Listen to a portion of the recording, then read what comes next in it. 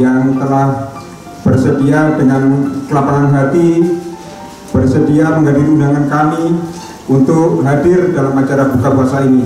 Mudah-mudahan lapangan hati dari para hadirin sekalian mendapat balasan dari Allah Subhanahu wa taala.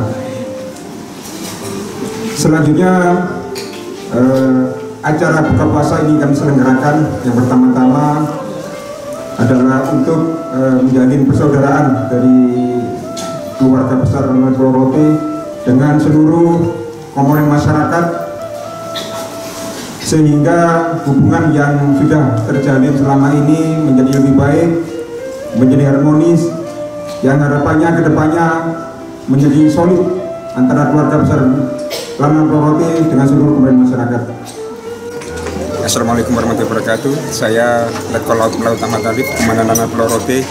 Jadi tujuan dari diadakannya buka puasa bersama ini yang pertama adalah untuk mempererat tali silaturahmi antara keluarga besar anak Plorote dengan seluruh komponen masyarakat yang ada di Plorote baik itu pemerintahan, TNI, Polri.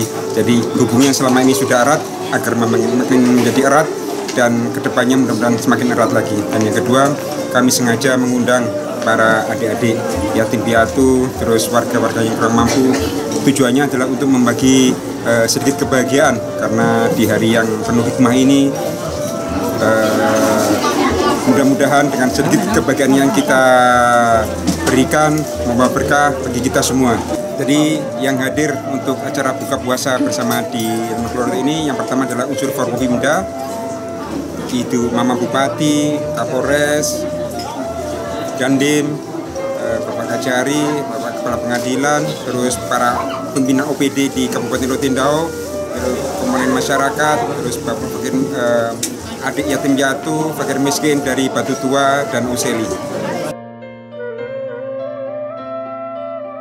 kegiatan ini sangat ini sangat baik bagi masyarakat yang bilang ada bilang ada kedekatan antara anak-anak yang bilang fakir atau miskin sehingga dengan adanya kegiatan ini mereka merasa bahwa dan kita masyarakat juga merasa bahwa ini satu hal yang sangat baik untuk uh, didatangi. Karena di sini ada kegiatan-kegiatan amal yang disediakan oleh pangkalan sehingga uh, terutama dan Pulau Rotendao sehingga ini merupakan satu bukti bahwa adanya hubungan masyarakat dengan TNI itu selalu ada untuk masyarakat mudah-mudahan dengan kegiatan-kegiatan ini kita banyak masyarakat yang menilai mengambil bahwa di sinilah terjadi uh, terciptanya satu ikatan keluarga besar antara TNI, Polri dan masyarakat di sini.